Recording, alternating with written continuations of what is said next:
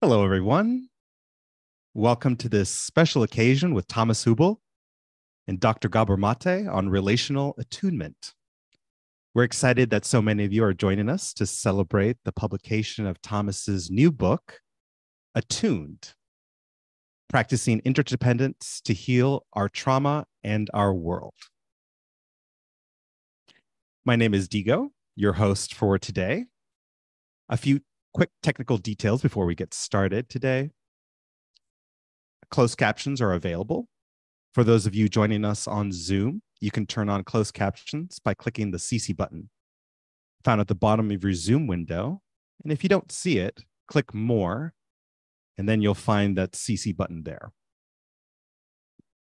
If you're finding us on YouTube, welcome. And just to know that on YouTube, closed captions cannot be turned off. If you have any technical issues or questions, please email our support team at online course support at thomashübl.com. The support team is available now to answer your questions.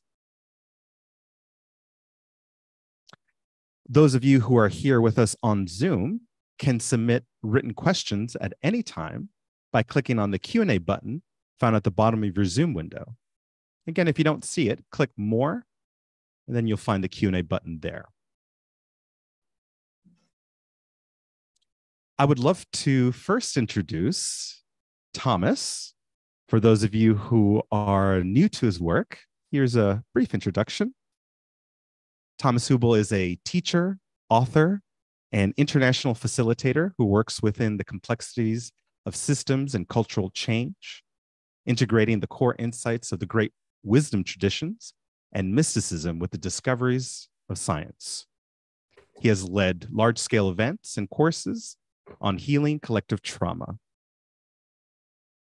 Thomas is the author of two books Healing Collective Trauma, a process for integrating our intergenerational and cultural wounds. And as of today, congratulations, he is the author of the new book, Attuned Practicing Interdependence to Heal Our Trauma and Our World. At any time, you can find out more and order a copy of the new book by visiting the webpage attunedbook.com. And a warm welcome again to you and congratulations, Thomas.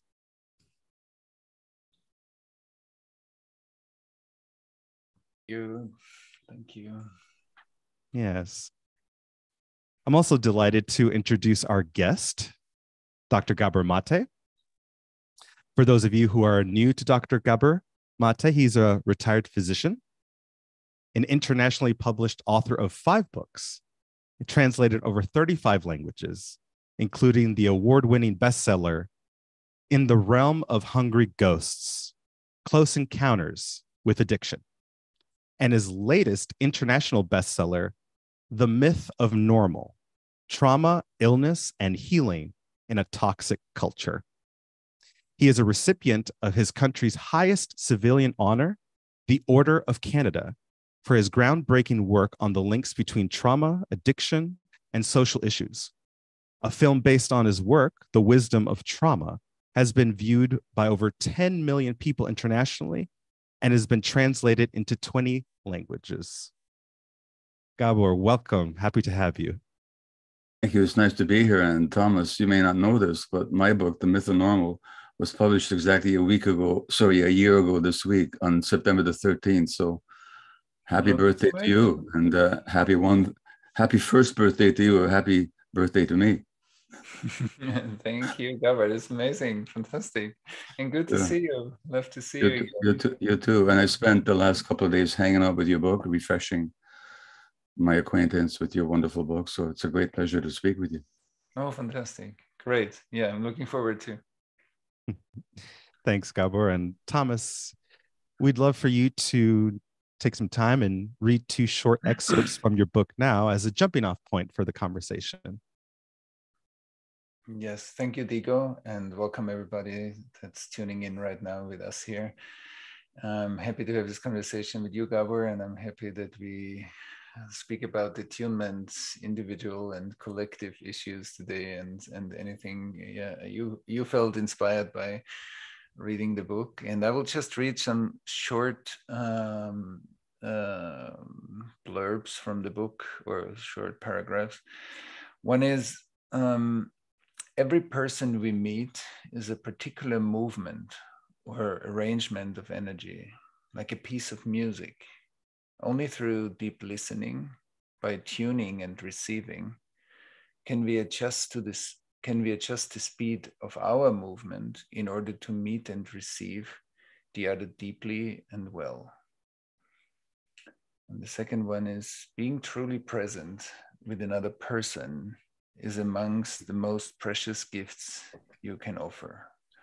After just a short time together, this way your friend will start to feel a little more grounded and relaxed too. Your grounded and relaxed nervous system has a co regulatory function for their nervous system.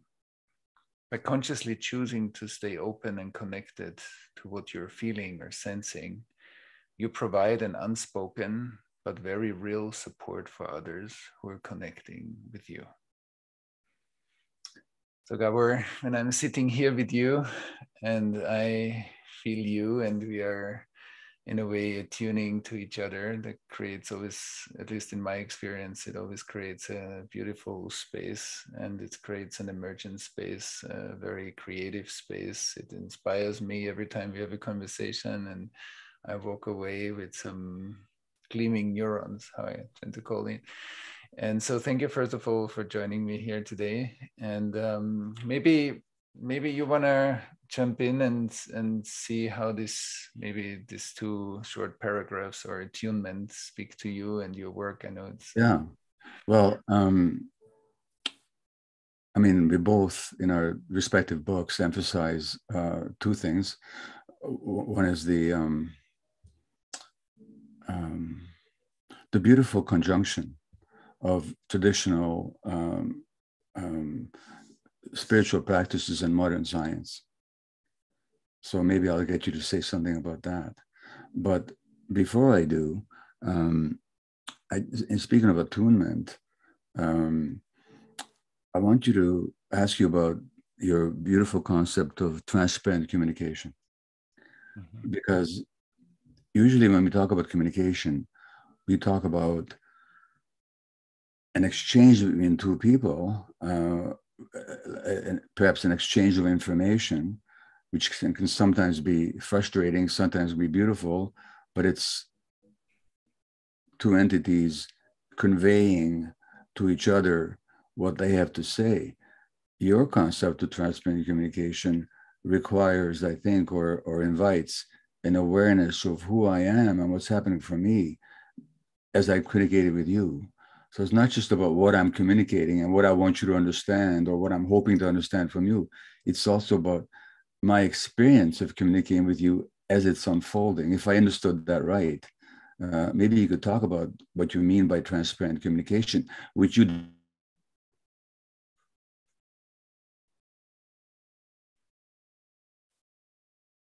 Still here with you, Thomas.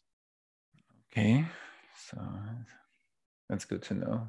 That's a good piece of communication. Um, yeah, Gabor, I lost you just for a moment. You froze, so maybe I as soon as you were asking the question. Yeah. yeah Wait a minute. You're the one that froze. I was speaking. Okay. uh, well, just transparent communication and how it involves not just the exchange of information, but actually an experience of self in communication. Hmm. Yeah, that's beautiful. It's exactly how you said it. It's not just that we convey uh, information in between two viewpoints, but it's it's our capacity to deepen our experience of ourselves because without being attuned to ourselves there's no way that we can be sufficiently attuned to each other so it needs my embodiment my emotional richness my mental resonance with your intellectual capacity but and maybe also my spiritual or ancestral line however much we want to open the space and and it also includes the space in between us because I believe the space in between us is not only air or distance, it's actually filled with information, very mm. important relational information. And that emotions or the content that we uh, communicate also lives in the space in between us. And then my awareness of you and my awareness of your body, your emotions, your inner experience and i think the whole thing i think is communication not just what i want to say and and and i think that level of attunement or transparent communication enriches and deepens our experience of one another and also the the togetherness I had just a, before a, lovely conversation with Dan Siegel, who extends his greetings to you, uh, and and we talked about interconnectedness and and like a deeper level of awareness of oneself, life, and each other. And I think that's very resonant. It's um, like that's what I mean also with transparent communication, right? To keep it brief, maybe. And, you give a interesting example of uh, a child that you were sitting with who was very upset and uh, about something difficult that had happened to them some days earlier. And and you describe your experience of of listening to the child and and how your experience of listening then has an impact on his own sense of himself in that moment. So maybe you could maybe you could give that example as a practical illustration of what we're talking about yeah, it was a, a, small child that fell off a table, and then there was a lot of shock and frozenness in the nervous system of the child, and it was very upset, as you said. And then I was just I was just sitting and attuning to the nervous system and feeling the child, and the parents were also there. But we were, and it was a very quiet process. But in the in the deepening of our connection and the resonance, also me allowing myself to feel the shock in the system, to feel the fear, to feel the freeze. So when I allow my nervous system to really feel that and also feel the pain that it created, you could see minute by minute how the child started to relax, how the child started to become more lively and and more connected to the body, like as if the whole nervous system grounded itself. And then and then the more the grounding came confidence curiosity came back and the and the shock turned into a digestion process and that turned into relationality and that turned into curiosity and creativity and then the child wanted to play again. And i think that that kind of attuned relationship is very powerful and i think we can practice basically all the time in life when we meet people when we work in organizations when we or of, of course everybody who works as a therapist or any kind of healthcare provider or any parent any anybody basically. So that, that brings up i think two or three questions right away. First of all can you say more about when you're experiencing the child's pain and fear and shock, what are you aware of in your own body? Because you're not sensing the child's experience. So what's happening for you inside your body? Right.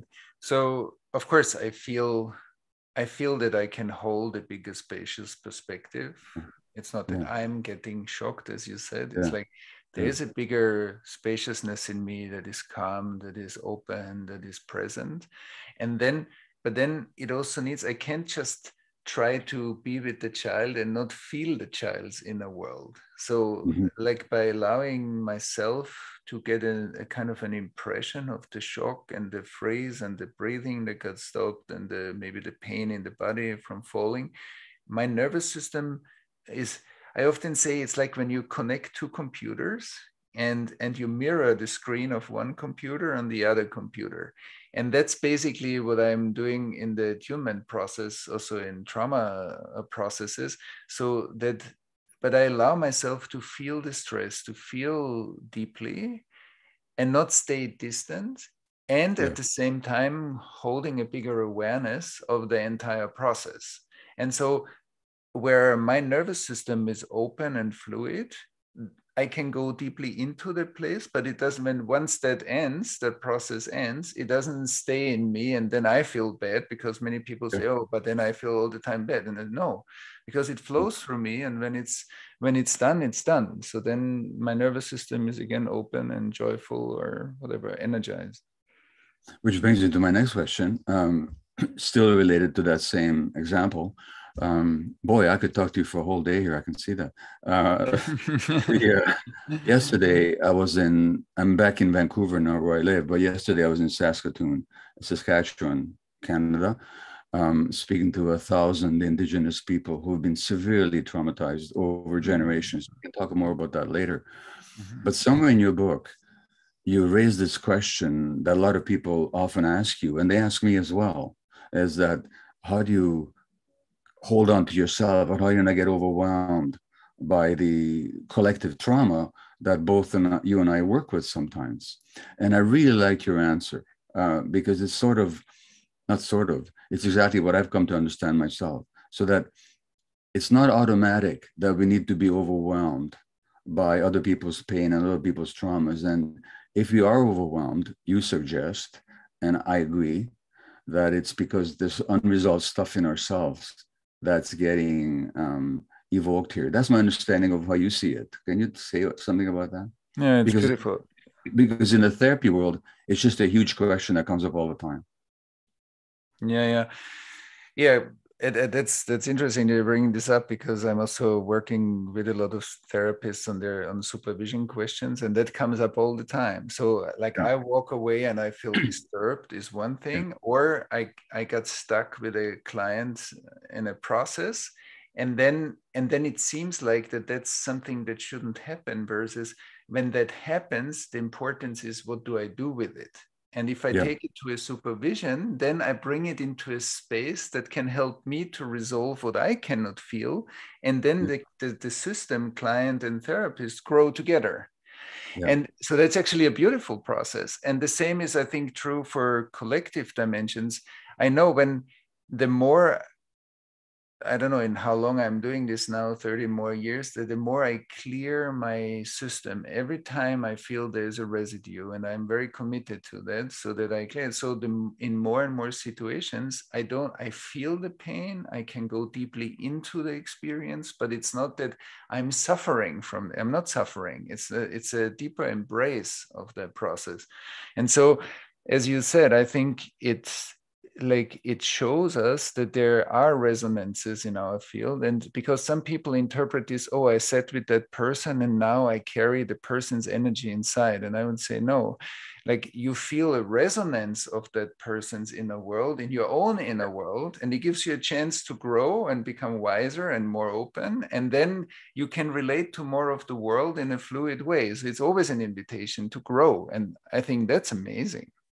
Absolutely and uh in the course that I teach, compassionate inquiry, I always tell my students, uh, therapists, and so on, that, that whenever there's tension inside you, it requires attention. So tension always requires attention. That's beautiful. And, yeah. yeah, and and when you're working with somebody, whether it's a group or or individual, and if you're feeling overwhelmed, you're feeling tense, you're feeling pain, so it's yours, and it requires your attention, and it's a good opportunity to to grow, which leads me to my um, next point.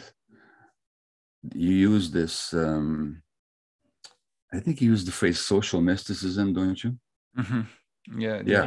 Um, so that very early in the book, in, in introduction, you, you you say that a lot of the issues that we face in our world are not just social, economic, political, historical, but they're also spiritual. Mm-hmm. And, and, then later in the book, you propose that mysticism, and actually I'll get you to maybe even explain what you mean by mysticism, is one of these words that we all use, but they all might have different connotations. But you talk about social mysticism, which means that the, as I understand it, is that the experience of unity and, and connection doesn't just belong on a meditation cushion or in an ashram or a monastery or a mosque or a synagogue or a church. it actually is something we can practice and bring into the world so that daily experience can actually support our striving or our, our spiritual growth. And so I thought social mysticism, I'd not seen that phrase that way before. I'd love you to talk about it.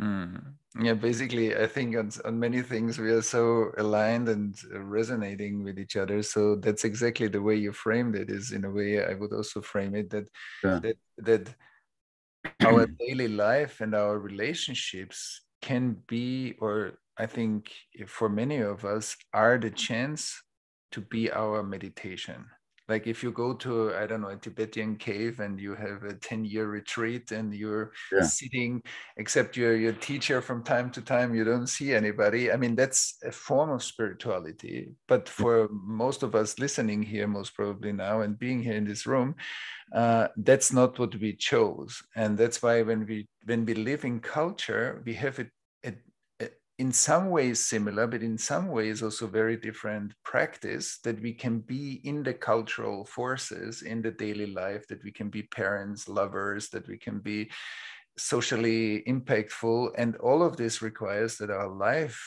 becomes our spiritual practice and our daily relationships. And that's why attunement to anything, to other people, to nature, to the planet, to um, any kind of sentient beings to situations, to the future, the future generations, our ancestors, anything can become part of our human practice. And this means we become able to resonate with. And I think that's how we become responsible, like able to respond to all this amazing uh, life that we are living and living in as a living process. And so, yeah, relational mysticism, because mysticism is the core of all the big traditions. That's where the real states, the deeper insights of consciousness happen. That's where deeper states are being touched. That's where the invisible becomes accessible. And that's also where the word, because many people can talk about spiritual states because they read it somewhere, it makes sense to them intellectually. It's like, but when the person doesn't rest in that state, the word and the energy are not the same. And the whole spiritual texts are about how the word and the energy become again not two. And when it's not two, then it's true.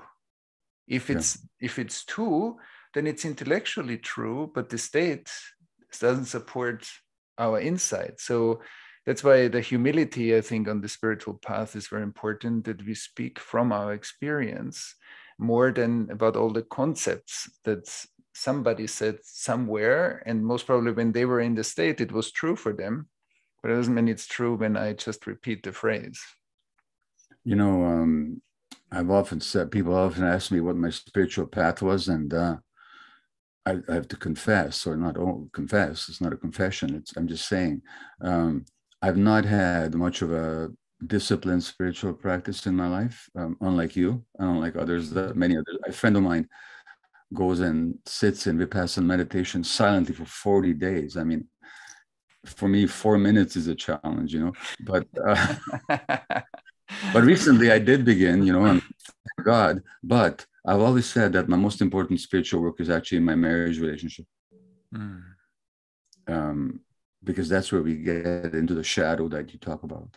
Mm-hmm. And that's where we need to strive to get into the presence.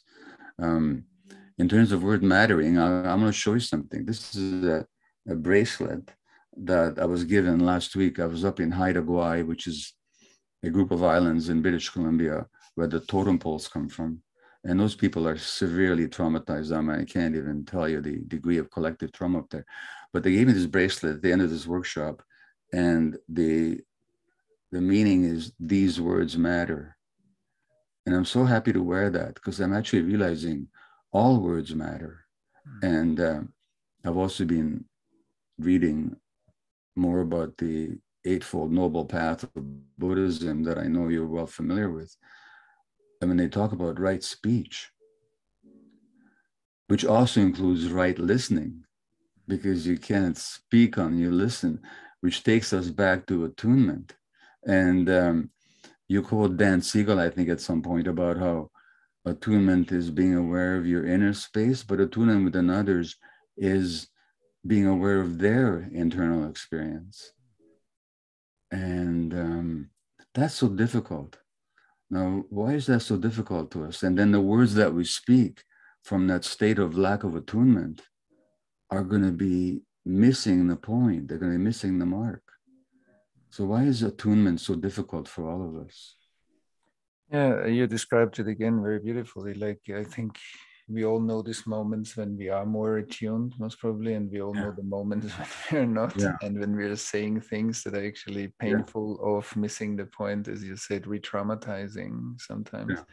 And and and I think that's also the point that many of us, like we are deeply social uh, beings and when we grow up and we don't have certain environments that support some of those, those functions so our our relational capacities get hurt or we need to defend ourselves to shut down part of the overwhelm which in itself is an intelligent process so our yeah. defense mechanisms are deeply intelligent because this is the best i could do for myself in that moment and then yeah. later on as grown-ups we look at this and we, we say we pathologize it but actually reframing those as intelligent functions at that time and then finding access to my own intelligence that created that so is also part of the healing. And and i think since we all um, you know most probably all of us have been born into a traumatized world that was already traumatized before we were born or conceived like we live in the distortion i think you also beautifully write in your book the myth of normal how we are living in a system like that has already this kind of massive trauma distortion from colonialism over racism over holocaust over gender violence and many other wounds that I think we got so adjusted to that like scar tissue that we grew up in often. So then, and that relational inability is is a, is one of the symptoms. And that's why also i often say also when we struggle with it there is something important to us because we struggle with it. Otherwise we wouldn't be struggling. It would just give up? But we don't. So something is important in relating. And that what is important is the part of us that is relational and wants to heal itself and and so i think yeah including the dimension of trauma in in the relational capacity building and saying not just i can't for people can say oh i can't feel my body well but i could also say as a two year old when i needed to be hospitalized alone i managed to shut down part of my body sensations because it was simply too overwhelming for me. So I can say it's a dysfunction. I can also say it's a function that made sense and, and saved me. And I relate very differently and with curiosity to intelligence versus a dysfunction that I want to get rid of. And yeah, so this is just a short. Yeah, absolutely. And uh, you, you talk about trauma, and I talk about trauma, and um, I think we both owe this to Peter Levine as as something not that um, happens to us, but happens inside of us as a result of what happens to us. You made that point very clearly in, in this book, Attuned, as, as I do in The Myth of Normal. And Peter Levine says, um, and I think he's the source, um, um, he says, trauma is not so much what happened to us, but rather what we hold inside in the absence of an empathetic, mutually connected witness. So that what you describe when you talked about being a two-year-old hospitalized was that your own experience or was it just a theoretical example? No it's my own experience. No, that, that's what happened to you. Okay. The, the trauma the, the protection of disconnection that you um, practiced there was wisdom in it. That's why the film is called the wisdom of trauma. You know there's a wisdom in it. Um, but it would not have been necessary had there been adults there who could attune with you Exactly. So that it's not trauma is not the absence of hurt; it's the um, presence of hurt when you're all alone with it. Exactly. Exactly.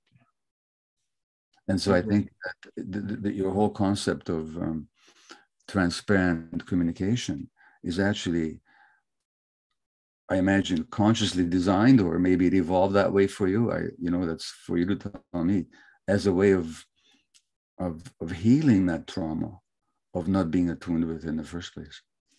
Exactly, exactly. No, I completely agree with you, and uh, and and and I think also in doing my own work over decades, it it's like what happened to me also turned into a gift that's also hmm. amazing mm. like that that mm. when we really tend to it and when we invest the energy to really go deep into the source like when where it's really where not the symptoms but the the, the deeper root of the symptoms yeah I find, and I also see this in many people that I work with, that how slowly the trauma turns into their gift, and and we all become remedies. That's amazing. We all become, in a way, psychoactive substances when we are uh, when we heal our trauma. We become active in the collective field as a remedy, and I I think that's really magical. That's really like post-traumatic learning is we we are not going we are not integrating trauma to go back to who we were before we are going actually forward into someone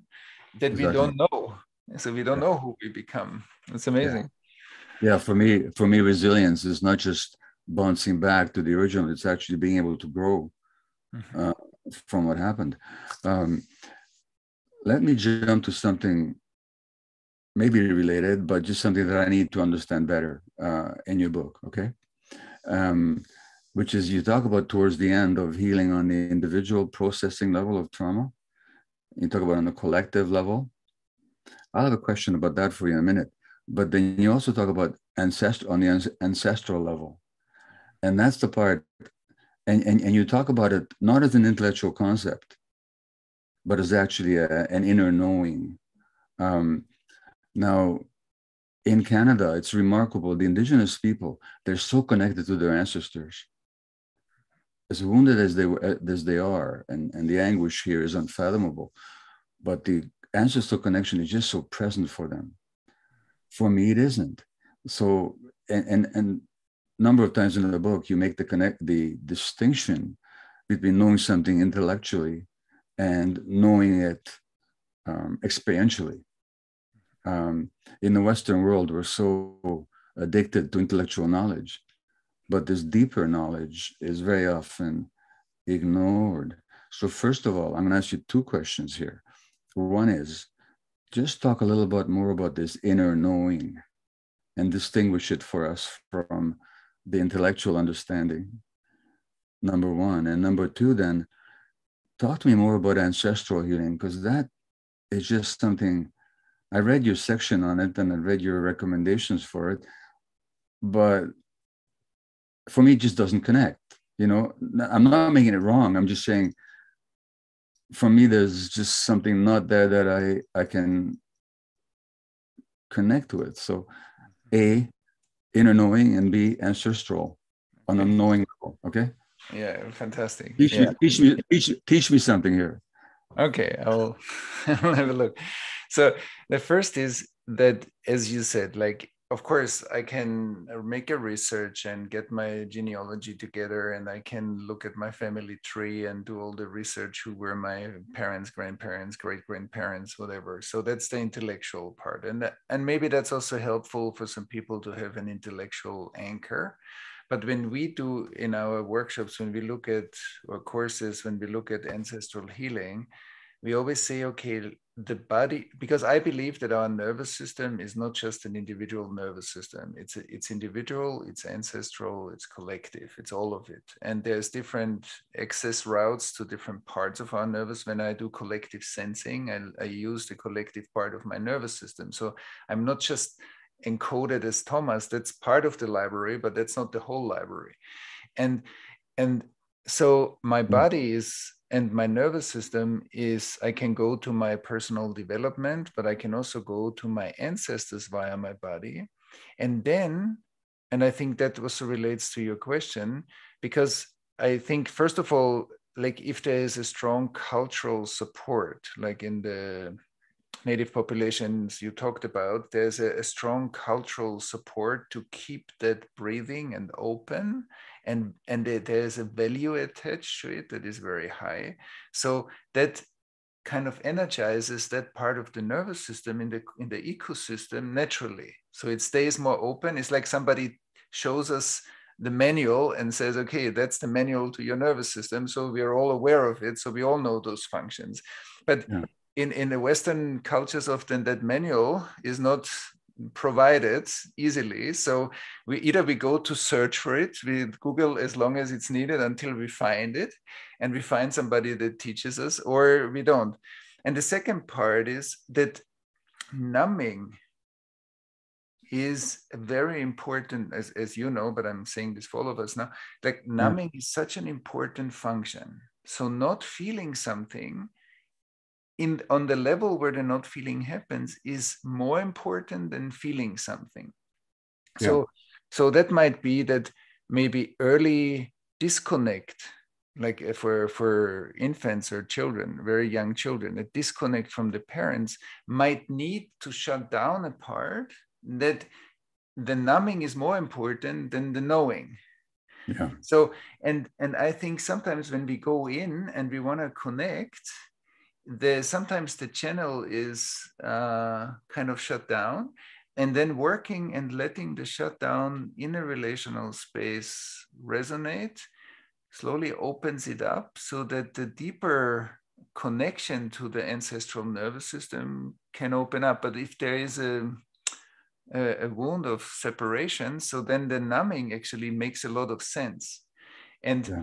so then we can say either, oh, I cannot connect. We can also say, I managed to shut down the connection because right. that was better for me than to keep it open. Yeah. And and maybe there is something there. I, I don't know. We would need need a longer conversation, but I think that's what I would follow and and see if there is any any part of the nervous system that needs that numbing and if it's being seen maybe then it will naturally open up into a deeper place. That would be a bit my hunch or my direction that i would go into. But i think then then uh, and then the, the the connection is a felt connection. And when we trust when i tune when i call on I would say in, in our work, we often start what we call gates in the ancestral work. So we say, okay, who is the ancestor that is the most resourced for you? Like it was your grandmother that was the closest to you, it was your grandfather, or you have, where, where is the most open gate? And I start with that ancestor to listen into the relationship, feel the relationship, and then feel the ancestor and and ask that ancestor to help me to open up the space to the other ancestors and so mm-hmm. that I, I get some allyship in my own ancestry to mm-hmm. op- wake up that part of my nervous system where it's easy not where it's hard and then mm-hmm. to use that kind of de-iced pond to go deeper into the water and explore the water more. And so i have immediately a resource that i can connect to. I mean for some people that doesn't exist so then the resource needs to be like a well-trained therapist or like somebody like yourself who has a lot of experience to work with trauma. But then that's the resource here to help us to open up the spaces in the ancestry until i feel the anesthesia kind of fades and and the energy can flow more and nourish my body from below so that the, the ground sends more energy into my body you know somewhere on my desk here and with my typical ADD fashion, my desk is way too disorganized for me to find anything. But um,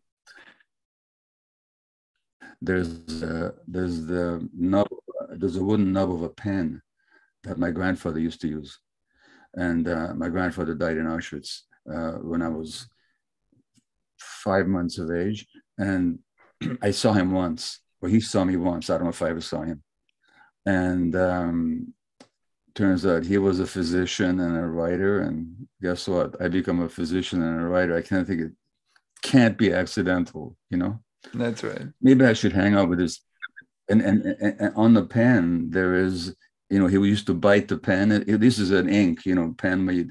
There's the there's a pen holder, and then you put the the blade into it or whatever you write with the tip of the pen, and then you dip it in ink, and he would chew on the wood. So I got this teeth mark on this. You know, maybe I should hang out with that pen a bit more. Yeah, that's right. Let me ask you. Let me ask you about. Let me ask you about collective trauma. Um, so you work with collective trauma, but the people that come to your workshops are coming with intention, and um, their trauma is somewhat in the trauma is very alive for them, but it's a therapeutic community. I imagine that you work with. Now, I sometimes go into other situations as I did, you know, when I was in Palestine last year. Somebody told me that there's no post traumatic stress disorder here because the trauma is never post. Because there's an ongoing conflict, as you know, and ongoing people are being hurt. And, and, you know, I don't need to go into the politics of it. Or I'll be going to, in a, this later this month or early next month to the former Yugoslavia to Ljubljana and Belgrade and Sarajevo, where there's so much hurt that people have done to each other, Mhm. and whether it's not even been acknowledged yet. Um, or if I go into these indigenous communities, as I do in Canada, it's not just that stuff happened to them in the past, it's that the system continues to oppress them and continues to impose pain on them. Have you worked with situations like that? Yeah, yeah, we have we have um, we have in our also our NGO is working with a lot of what we call in our work hot trauma, like trauma there is no post because it's all the time Ongoing. happening. So, It's so how do you so i'm curious how you address that and um yeah how do you address that Yeah, I think the first thing I, th- I think most probably what you also do is first the acknowledgement that there is Yeah. a lot of trauma. is like somebody needs to, even if it sounds ridiculous at the beginning because it seems so obvious, but if somebody comes and witnesses what happens or what happened with an open heart and there's Yeah. acknowledgement, there's an immediate sense of I feel seen, not because of course we, we see each other, but the, the like a deeper witnessing I'm talking about creates like a sense of safety. And then I think that's that sense of safety within very unsafe environments are the beginning of being able to create some sort of resourcing together. And then if we use that mm-hmm. space where we have a certain amount of trust and some I'm talking about a little bit of safety within an unsafe space, Yeah. we can accumulate energy and create some soil and like some grounding and some embodiment. And then from that, we keep on building, like in the right architecture, we keep on building more soil and the more soil and emotional recognition we have. So I often say the body is the soil, the emotion is the water, the mind is the seed and the sun, the soul or the Mhm. light is the sun. And if we want to grow something somewhere, we need to create a little bit of soil that becomes fertile through the emotional health or the emotional restoration in order to plant new seeds to build something new. And, and I think when you go, especially also as a white person, and you go to these different places, there is a recognition of yes we i see you kind of using your own privilege as a commitment to not turn away because that's Mm. what our our privilege can easily provide us to say i don't want to deal with this too much but Yeah. i see you continuously going towards and i think that's an amazing invitation to create more safety to feel seen and and then i think we need to develop collective technologies how to create architectures holding spaces where that can grow like incubators for these spaces so that and then how people in, in societies can pass that on to other people. And i think that's that process is really beautiful and i'm, I'm sure there's a lot of indigenous wisdom anyway that does that. We just need to provide the circumstances and stop the re-traumatization wherever we can. That's super important too uh, of course I, I, usually end my workshops with indigenous people by asking them to connect with their own traditions and there's so much beautiful healing as a matter of fact you know i'm sure you feel the same way but sometimes i think my god never mind, it would be great for the indigenous people to reconnect with their traditions. It'd be so great for the rest of society if we could actually absorb some of those traditions. Mm.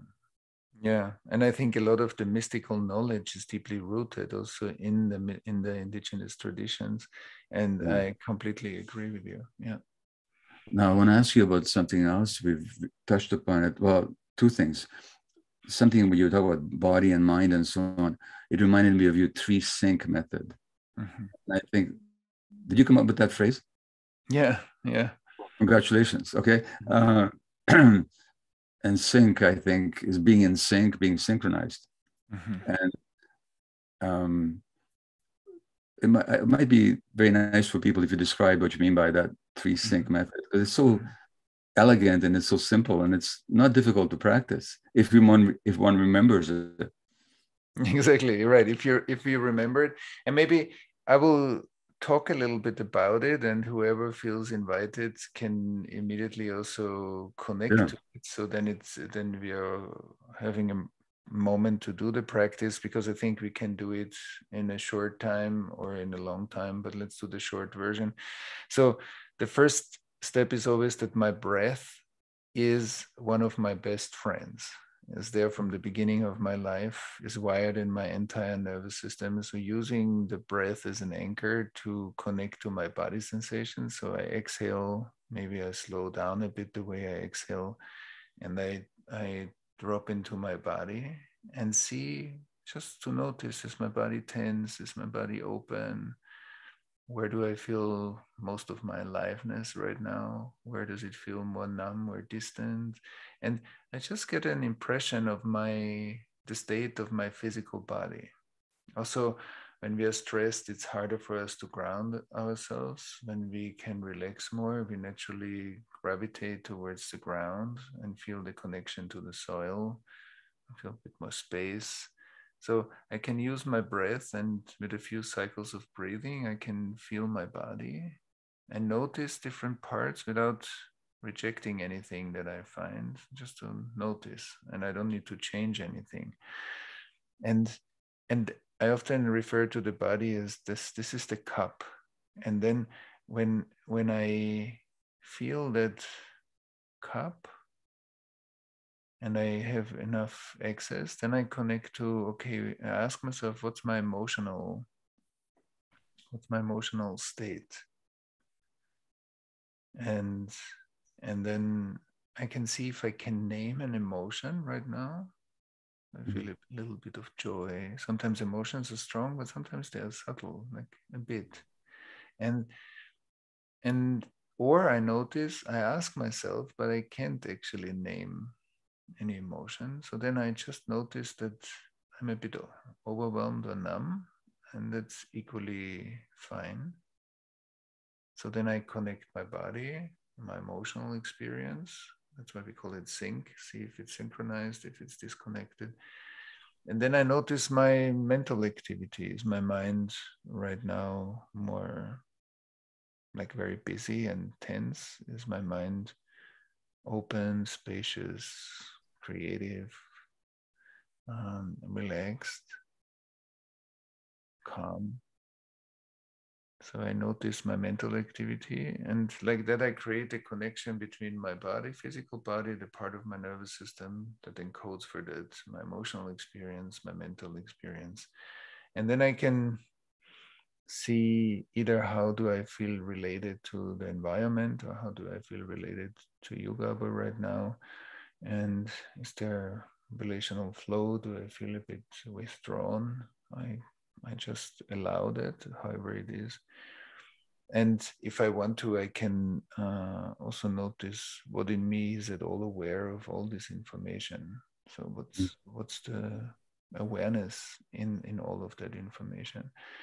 And so, as you said, we can, whenever we remember that, even for a minute, we can check in with ourselves, or I can do it as a 10 minute meditation in the morning. It's, I think it has a synchronizing effect in if we do it regularly. Uh, you know, it reminds me um, of the Buddhist sense of the four foundations of mindfulness the the body and the body and the feelings and the feelings and and the the mental formations, and then also the, the consciousness, which is the last thing that you mentioned, mm-hmm. being aware of yourself, being aware. Mm-hmm. Um, your book is about attunement, and um, you quote, I think I mentioned before, Dan Siegel as being attuned to the internal experience of another person. Um, it was from Dan Siegel that I heard the following experiment, and he he doesn't remember this, but he he gave some lectures in Seattle, and I long before I knew him, I came to hear these lectures back in, in the 1990s. Boy, we're getting old, and uh, and uh, and he talked about the double TV experiment, where they kids were interacting on a closed circuit television with their mothers, and the child would make a face, and the mother would, you know, mirror the face and funny movements, and the kids were very happy. Then they turn the TV off. Then they turn off the live feed, and they re- they're in different rooms, and they replay for the child the same image of the mother being loving and humorous and playful, and the children got so upset mm. because there was no attunement. Mm. That's beautiful. And. And in your book, they call it the double TV experiment, and in your book attuned you talk about brain synchronicity. And can you talk about that? Mm. yeah it's exactly like when when for example when i look at you and you look at me we have like i have you in me the gabor that i see happens in my nervous system. So when i consciously connect to you in me like i feel you here but i also know that the Gabor I see is coded in my perception. So then there is a, a tremendous intimacy. And so when you give a talk, like you said, then thousand people have a Gabor inside of their nervous system. That's pretty intimate. So that, and then you exist obviously in your body also, but you exist, I believe, in everybody that sees you giving a talk or a lecture as energy as a wave pattern in every brain. So and i believe our our existence is not just one or the other it's all of it. Yeah. and that's that's really so we're existing as all of that. And that's why you what you said when the mothers were really there. So even through zoom when i sit here with you i i can feel you as if we were sitting in the same room.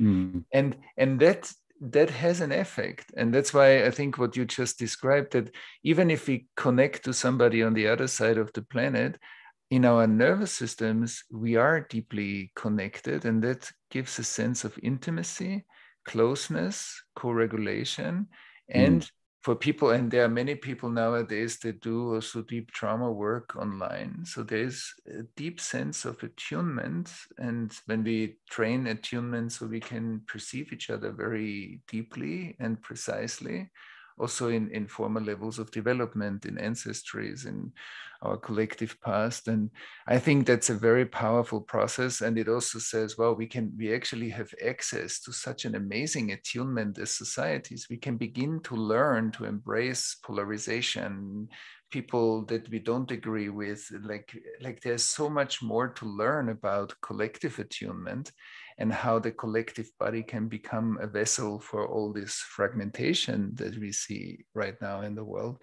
So I think that's an exciting process, exactly, uh, exactly what you said. And that our we are not just limited to our brains, but actually there's such a, a field available to us of information. You know, there was another study that I read a couple of years ago was done in therapeutic sessions with a client and a therapist. And as you know, and, and you actually talk about the heart and mind connection, that the heart emits certain um, electrical waves, and so does the brain. And when they're in sync, we experience a kind of openness and a joy and, and, and you know, a presence. And presence is something you talk about quite a bit in the book, presencing. I really like that phrase that you use. Uh, so in this study, they they were measuring the these waves in both client and therapist.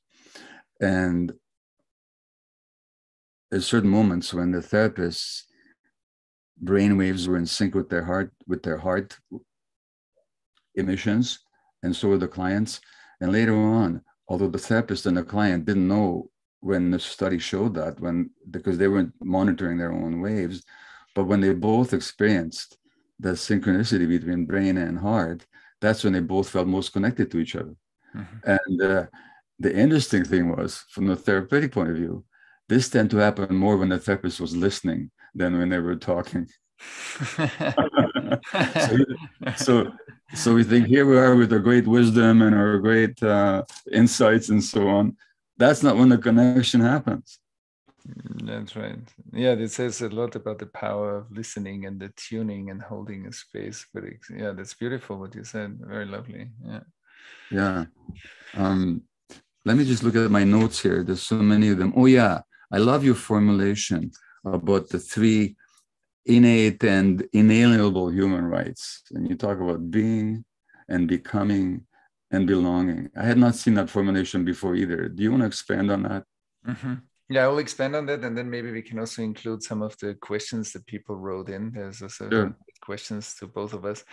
Yeah, I think that, um, like in my work, and also, of course, extracted from the mystical principles that are around for thousands of years. So this is nothing new in that sense. Is that I think space or consciousness, which is being, leads to an emergence of becoming, is energy flow, is purpose, is creativity, is expression. And and energy needs to cast itself into fluid structures. So it builds structures, habits, bodies, organs, societies um, that it flows through it's like the pipe system. And yeah. so I believe also on the level of human rights that everybody has a right to be, and nobody has the right to take that being in life from somebody else.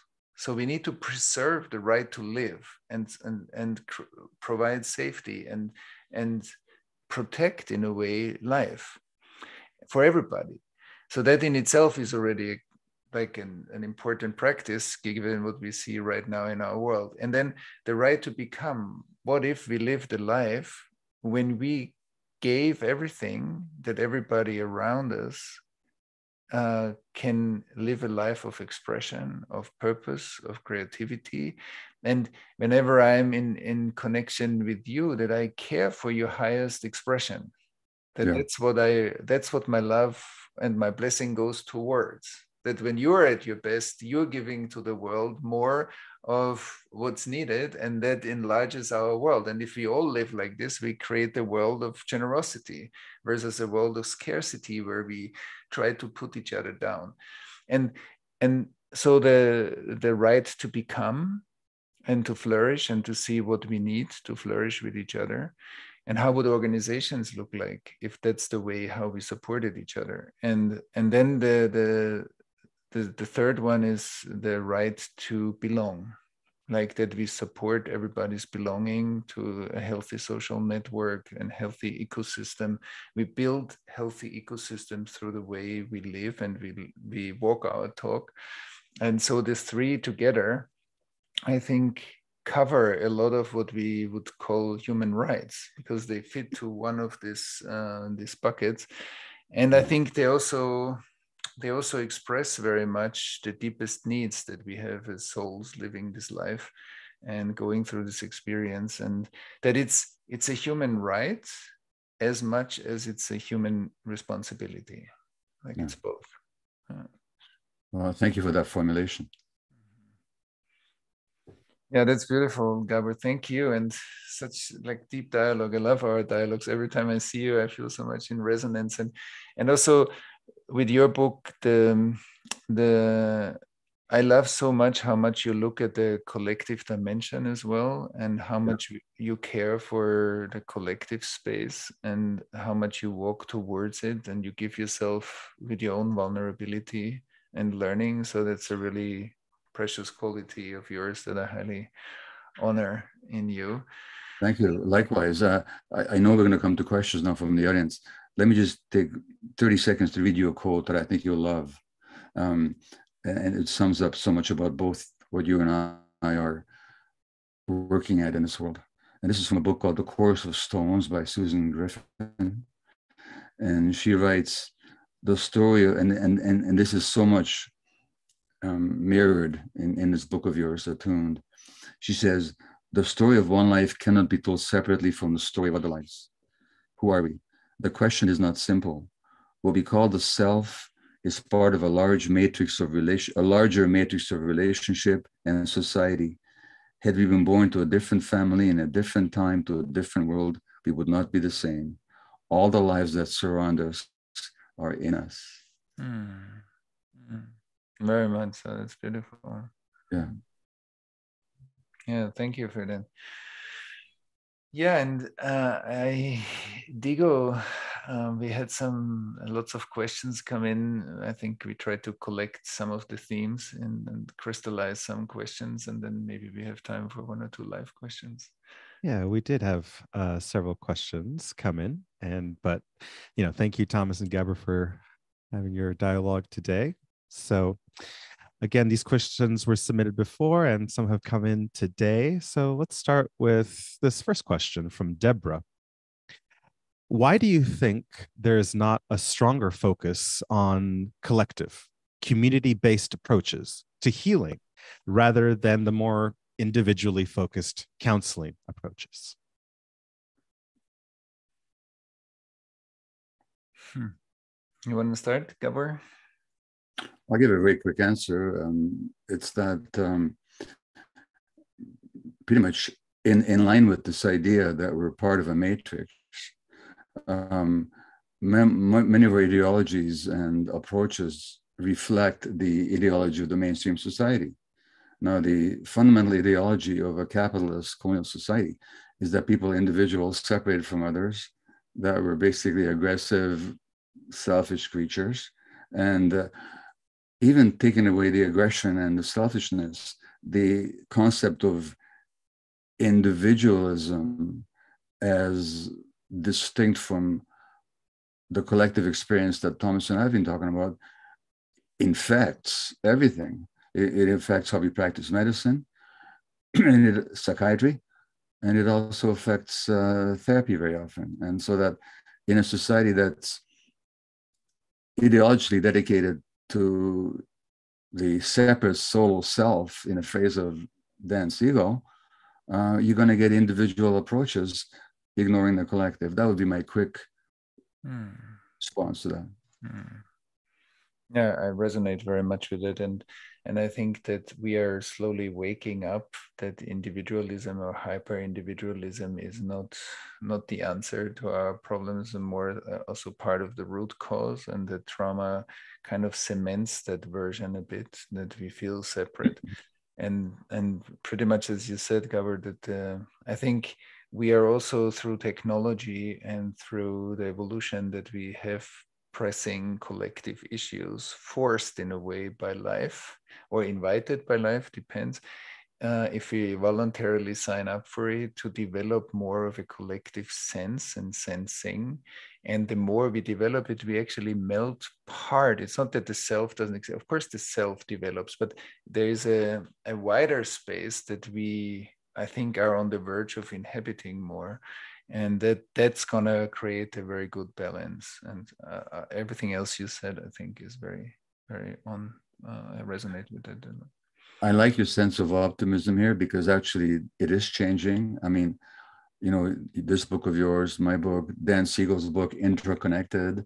uh, you quote stephen porges's work of social engagement in, in your book attuned there's just so much more awareness now so that this collective sense, as you suggest, is actually growing. And I think we can see that as a very positive development.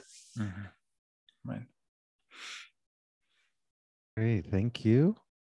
Um, still a couple more. Uh, several people asked a similar question Is it possible to attune to someone when they are not able or not available to be in connection? For example, someone estranged, in crisis, does not have capacity for relational attunement? Yeah, maybe I'll jump in here. So I think this relates very much to what what I shared before about the experience of the child. Uh, like when we are whatever is the state that seems like to absorb the, the relational capacity and and feels like isolating depressing depleting like withdrawn whatever. It's of course as we said before like when we carry each other inside there's always a possibility to attune. It might not always feel comfortable and it it challenges us to expand our capacity and to be willing to feel also a certain amount of discomfort. And often, when somebody doesn't want to relate to us, we go through a process ourselves. We feel rejected, we feel not liked, we take it personal. We take so there's a lot I think we also need to work through when that happens in our lives. But I think that that's an amazing process of maturation like that I can hold a deeper presence in my life for the things that I like and the people that I agree with, but also for everybody else. And that's much more challenging because there I, I will meet my own exclusion and where the world cannot land in me. And I believe one aspect of wisdom is how much of the world can land in me because that makes me wiser, more fluid, more able to navigate in a bigger part of the world and I would say um, it's a journey of maturation, the question to be able to host that inside. But I want to also make it too long to listen to you, Gabor. Well, um, everything you said, yes. I would only add if you don't take response, and, and, and your book talks about responsibility quite a bit, the ability to respond. Mm-hmm. And if I make my own capacity to attune with you dependent on you, that means I'm not free. so whether I choose to attune or to work at attunement because I'm trying to help you, or the, the bigger reason, I would say, the more immediate reason is so I can liberate myself. I don't want to be dependent on you for my, for my capacity to attune. And so it's as much as an act of metta loving kindness to the other as it is an act of loving kindness to myself. If i pay attention to my attunement whether or not you respond the way i'd like you to. Beautiful. Yeah. Great. I'd like to get a, to a couple of questions that have come in during this call. Um, so amitola asks i believe attunement leads to liberation Yet, as a Black woman living in the American experiment, I wonder how one can feel safe attuning within a world that consistently demonstrates danger and causes trauma. Maybe you want to go first this time, Gabor, since it's yeah, sure. I would only say that it's a real challenge what you're posing here. And as a black person in the U.S., um, it's difficult to find safety in the external environment. That's the nature of the system. That's the nature of a system that actually still denies your history. Um, but we're talking about liberation on two different levels.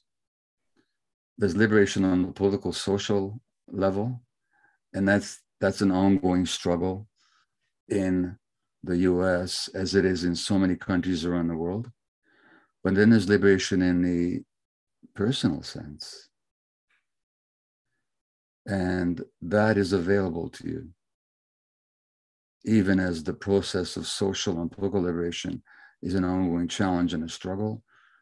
Um, you know, I've had communication from Black men in death row prisons in the United States who have liberated themselves they're still appealing their death sentence. They may or may not win their appeal, but they're liberated.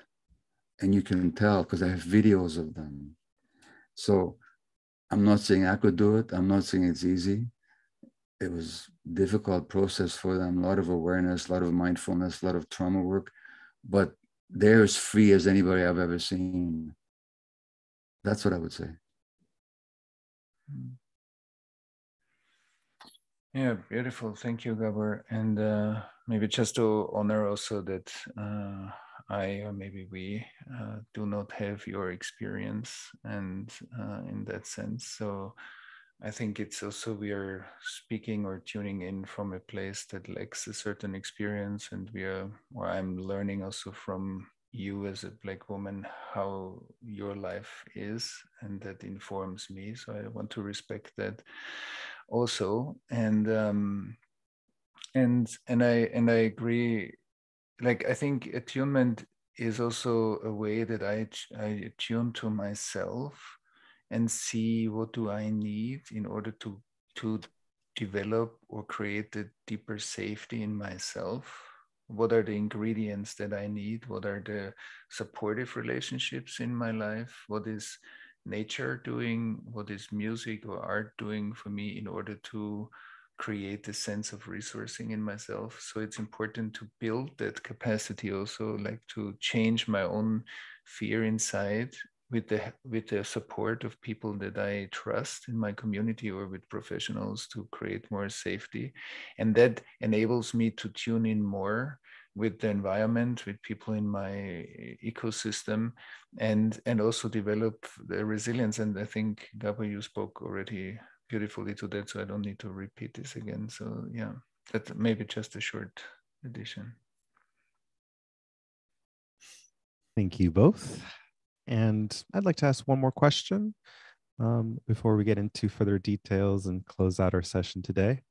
Um, from Jack could you speak a bit about the time it takes to clear personal trauma and the urgency of the times we live in?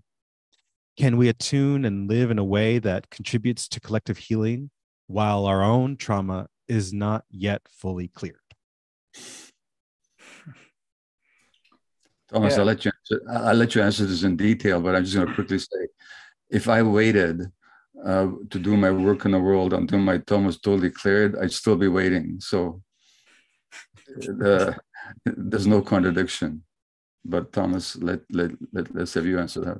No, I was I was gonna say something similar. I think um, let's look at for a moment trauma says in the traumatic moment when something overwhelming happens and the trauma response says in a way here in space and time, it's not good for me.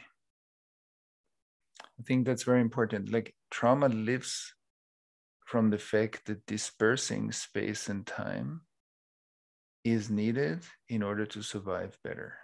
Like shutting something down, creating a split, creating two-ness, uh, creating past and future is the way how trauma affects our nervous systems or is the response in our nervous system. So that means also in the healing work i often say because people come to our groups and say how long do i still need to work on this? So if i were ever to answer that question as the question that is a question about time but the question only says it's hard here for me and I want to honor that. It is hard sometimes for us to be here. It is. But let's hear that we are not talking about time, we are talking about what is. And so, if we can turn any question about development, like how long is it going to take, into what's actually hard to experience here, then even the, the way of how much do I have to heal needs to be brought back to what's actually difficult for me here. And the second step, of course, for some people, the trauma of fragmentation is so overwhelming when we come in contact with the world that we need safe healing spaces. And to focus on one's individual healing for some time is essential, important, and creates the basis to interact with the world. But as Gabor said, I think if anybody that does something in the world would wait for until we are healed it's i think once we feel enough grounded and safe and uh, integrated that we can provide spaces of listening interacting responsible action in the world so that we can stay related to the world with what we do. Then i think the the journey of of having collective impact becomes our healing journey, that actually is needed to help us to grow more. And I'm sure, Gabor, a, a lot of the work that you did taught you. I'm sure because it's it happened, I think, to everybody I know. And so that's why the interaction with the world becomes our teacher, I believe. But maybe you want to add something to that.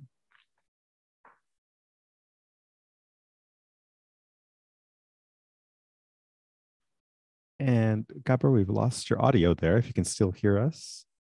Yeah, I'm sorry. I'll only add my little joke, my standard little joke here that um, your work evoked for me, your words evoke for me. And I often say this that um, I'm 79 years old now, and I would not want to be as young and stupid as I was when I was 78, you know? So that, yes, the work does instruct us and we grow from it. And and it goes back to your concept really thomas of social mysticism or relational mysticism that even that work that we do help us helps us to grow. And so you can't stay away from it. At at certain point inside you inside me inside other people listening there was a knowing that i'm ready now to speak to the world. I may not be perfect. I may have a lot more to learn which is the only attitude to take, by the way, at any stage. But I'm ready to share something of myself, of what I've learned, in order to help others. And I think once you're ready to do that, as you suggest, Thomas, the growth will be further fertilized by by your work. That's beautiful. I, I want to underline also what you just said is like the only important part in in that going out into the world is that I'm willing to bow down every time I, need, I, I see that I run into difficulties. And I, there's a lovely, a lovely part in the Tao Te Ching that Stephen Mitchell translated. It says, when the master runs into difficulties, she stops and gives herself to it. And I think whatever we do in the world, if we can stop and give ourselves to the difficulties, we are committed to eternal learning. And we don't ask anymore how long it's going to take because every time we learn something, let's say thank you for the blessing and and keep on walking. And uh, i want to underline how important it is to to be able to learn from life whenever we run into something. That's actually our teaching and i think that's so precious. Amen. Thank you thomas and thank you gabor. I know thomas you wanted to share a prayer from your book and I'd also like to invite any last words of wisdom or any else thing you'd like to say before I get into a few details about Thomas's new book, Attuned. So maybe I will read the, a short part of the prayer in the book, and then maybe Gabor, you can leave us with some uh, words uh, of yours for, to finish our conversation. Um, in the book, there are two sections, short sections that I, I like very much. Love is at the center of it all. It is the root and heart, the foundation and the fire. It is the source of our deepest longing to connect and relate, to grow and to heal, to be and become and belong. These are the simplest, most essential ingredients of healing relation and are also its product, the higher capacities afforded to us as a result of shared healing. And the second one, may we awaken new pathways of attuned relation and healing integration. May we mature into a new story of being, becoming, and belonging. May we lean courageously into the scintillating light of our evolutionary future and find ourselves already always whole. And maybe with this beautiful kind of prayer invocation or reminders, I want also to thank uh, Julie Jordan Avritt that helped me uh, very essentially also to write this book and was an integral part of it. I want to thank you, Julie. I don't know if she, if you're listening right now or you will hear it in the recording. And uh, so our collaboration is very precious to me, and it's beautiful. So a lot of thanks and gratitude to you for being a partner in this endeavor, in this beautiful endeavor. And um, yeah, so thank you, Julie, and back to you, Gabor. Um, if there's anything you want to leave us with.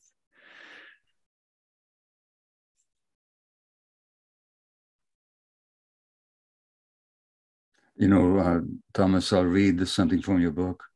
By the way, I'll also acknowledge my son Daniel, who helped me write my book, and mm-hmm. really I could not have done it without him. So it's so important to um, recognize that we didn't do this all by ourselves.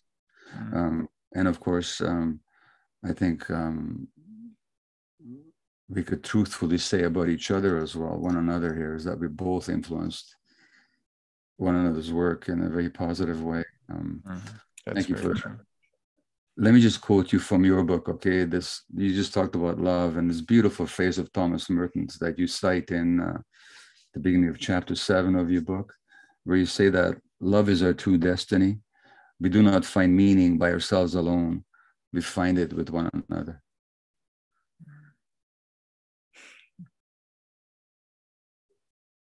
Thank you. Thank you. That's really beautiful, and thank you for joining me here today. And uh, it's a gift, and it's true. We, I think, there's a lot of positive inspiration mutually, and thank you for that. And I always say, like in you, I found a brother that is deeply committed to the collective dimension, also, and it's beautiful to share that space with you. So thank you. And thank you both. Our deep gratitude for you, Thomas, of course, Gabor, for joining us today for a wonderful conversation. You're sharing your wisdom today, and your acknowledgement. So was nice to hear how the pieces fit. I want to also thank all of our viewers today. Thank you for your presence.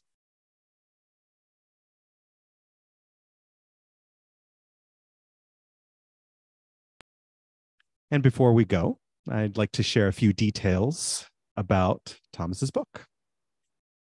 The book is available to purchase in three different formats, including hardcover, audio, and Kindle format. You'll find the links to various booksellers on the webpage attunedbook.com. If you're ordering outside the US, please check with your preferred retailer or the Amazon site in your country. A German translation will be published on September 20th. If you order a copy now, you'll also receive two free gifts, including a relational attunement audio practice from Thomas. And again, all the information is on the webpage, attunedbook.com.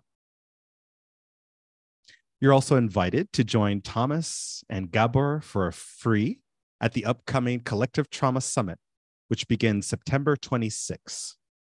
This is a free online event that includes over 60 speakers. Visit the website collectivetraumasummit.com. And again, we hope you enjoy the book. Thank you again for joining us today. We look forward to seeing you in the future. Bye for now.